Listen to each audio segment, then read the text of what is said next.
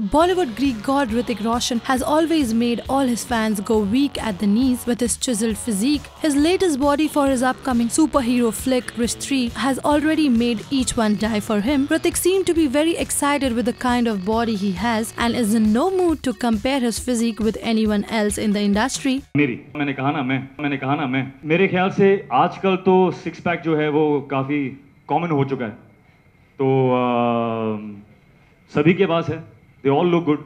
And it's very nice that uh, we're spreading the word of, of, uh, of health and fitness in such a, a prominent way.